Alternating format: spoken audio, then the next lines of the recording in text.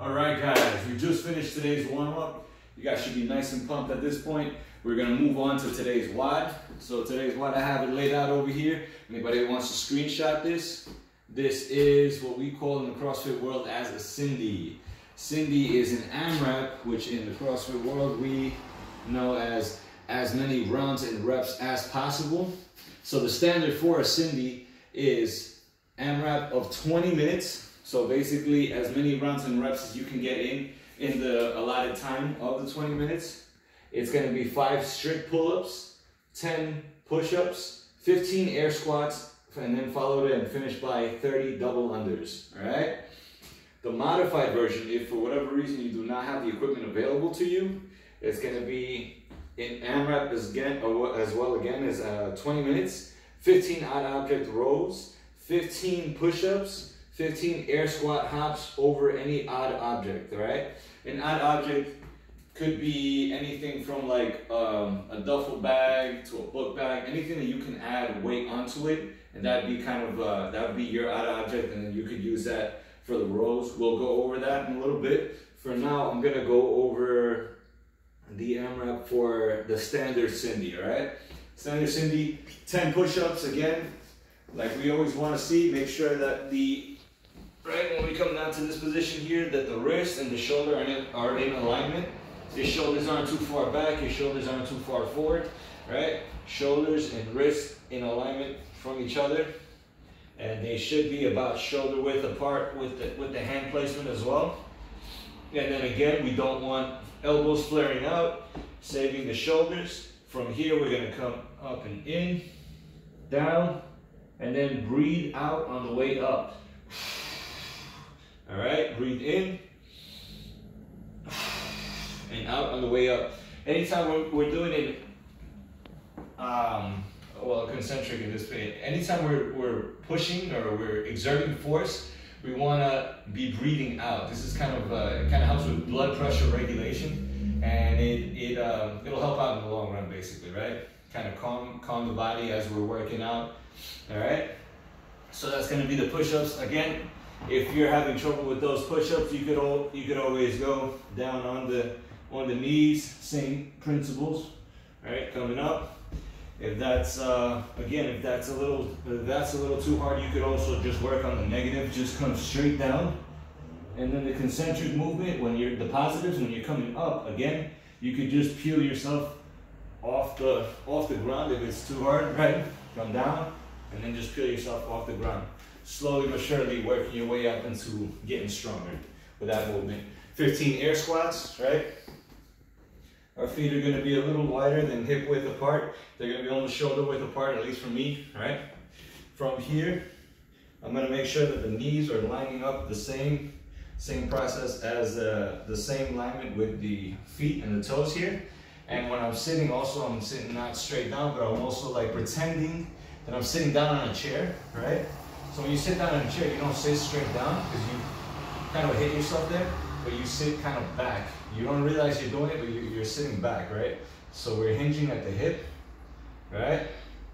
Coming down, coming down, making sure the back is nice and straight. Coming down, right? Heels on the ground, make sure the heels aren't coming off the ground at any given point. The knees aren't caving in. Keeping nice and flexed here, keeping the glutes activated. Coming down, and then straight up. If you need, you can use the hands out to kind of counterbalance, to use as a bit of a a balance for you so you don't fall over.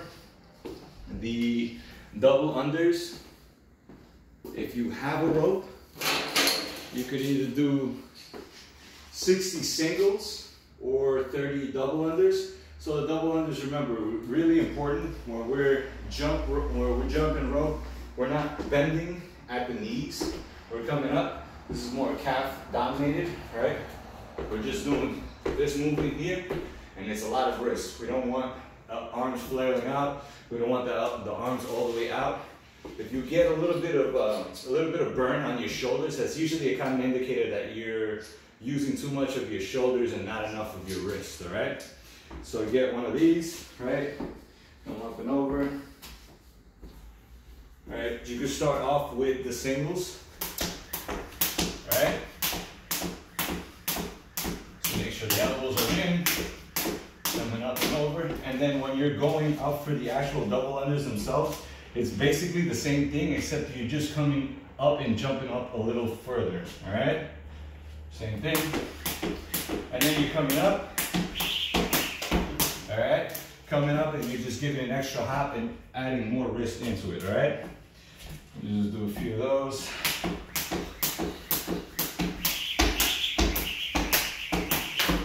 All right. Well, that's what it does look like. That's all muscle memory at that point because when it gets to be that fast, it's really it's really hard to keep track of it. But that's more muscle memory at that point. You just gotta practice, practice, practice. And when you go to sleep at night, you know you come back, and then that's how the body remembers things like that. All right. Get a nice good sleep. Uh, the strict pull-ups. We're gonna go straight to that. Just gonna get this right over here. I have one of these at home. It's called an Iron Gym. You could get it for like 25 bucks, 25, 30 bucks maybe, the most. Maybe even less, I don't even know at this point. Really easy to apply. And um, I'm gonna show you guys a little bit of form on the pull-ups as well, all right? Just gonna take a little bit of a tour. Apologize for the all right? Really easy to apply. All you gotta do is put this up on, there's one of these on the other side, but it's kind of uh, sticking out so it can act as a, as a counterbalance, right? Pretty safe. I've had people like 300 plus pounds go on this no problem and they hold on to them, so should be no problem for anybody here, right? And then really important when we're doing the pull-ups, we have this one here gives us a little bit of a um, little bit of options here. We can either hold it this way, which is an underhand. This is basically a chin up, chin up grip. Chin up grip actually is a lot more bicep activated, and it helps out with the wide head of the bicep. It kind of helps it, kind of helps this part stretch out, like um, widen out a little bit. This way here is a neutral grip. You can hold this way as well, and then pull up. This is more for the long head of your the long head of your bicep. And then this one here is the most back activated. You get more lat activation from this one here when you're a wide grip. And really important also when you're hanging from this position, make sure you guys aren't, your feet aren't dangling anywhere. They actually serve a purpose. If you guys have ever seen a boat hold, you're holding this way, straight. Um, the boat hold that you guys do on the floor, you're holding straight this way, right? This movement right here is the precursor to where you should be up there, right? So you come up, same exact thing. Come down, feet are out in front of you. And another thing too, make sure you have active shoulders. So basically an active, an inactive shoulder would look like this. An active shoulder would look like this. So the difference you'd be able to tell by the time I'm pulling up I'd be able, I have clearance to bring my head from side to side. If not from here, there's like no clearance whatsoever. That's a good indicator that your, your shoulders aren't active the way they should be. So you're gonna come up, right? You're basically gonna involve your scapulas in this, right? You're gonna come up, look from side to side, and from there, your core is also engaged, making, making sure that there's basically no energy leaks anywhere, right? And give you the most, the most bang for your buck from this from this uh, workout here. And then from here, you just pull straight up, chest to the bar if you can, or wide grip as well, and pull up. If you're having trouble with that, you could always work on the negatives, right? Get on a chair or something, bring yourself up, and then slowly, slowly control the movement coming back down. It takes a lot more patience that way, but everything is worth it though. Just a little bit of patience, that's all you need, right? Let's bring you back over this way.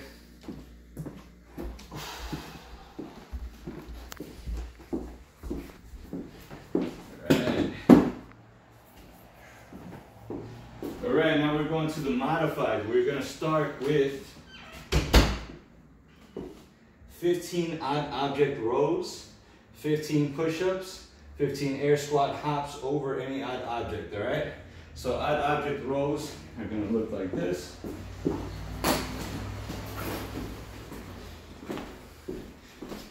There's nothing back here it has handles on it? So with the handles, what you can do, just like a bent over row, we're gonna have knees, knees bent. our back is gonna be straight. You don't have to be necessarily as low to the ground, but it's kind of uh, almost trying to get parallel to the ground, so you're almost in alignment with the ground here. All right, you're gonna grab onto the bag, and then from there, you're gonna pull all the way up. All right, pulling up, making sure your elbows aren't flared out or anything, bringing them as close here as possible, as close to the ribs as possible. This activates, this is forces our backs to activate a lot more. And um, if that's if that's too easy, or if that's not enough range of motion, you can also grab from here, right, and give you more range of motion, and then coming back down, and then pulling up to the chest and back down, making sure that the, the head is not all the way down either, or too far up, right? When we start having weight and we have our necks all the way up, it starts causing problems in our neck. And then if our heads are all the way down, we start having, we start cutting off our windpipe basically.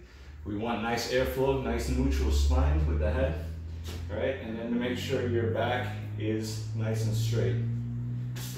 Put this to the side, and then this we're also gonna use for the squat hops. All right, squat hops basically over any object, which would be this in this particular scenario. You're gonna go down to a hop, uh, down to a squat um, position, get ready, load your load your quads, hamstrings, everything, and then hop right over, right? You're gonna turn around, hop, hop right over, all right? Same thing, we're gonna do 15 of those, right? If you feel like you start get, you're starting to get a little tired and stuff, you don't wanna risk falling over this, you can push that to the side, and then you work try if you can't necessarily work too hard on on height you can also work on distance hop and then lean as far forward as you can all right? That's today's WOD guys. Cindy cindy's actually pretty fun.